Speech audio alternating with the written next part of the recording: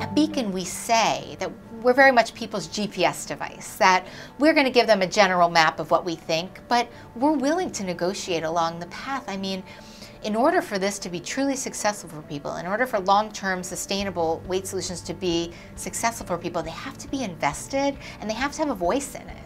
I think a lot of traditional diets are very di dictator-like, right? This is what you have to do. This is what you have to do.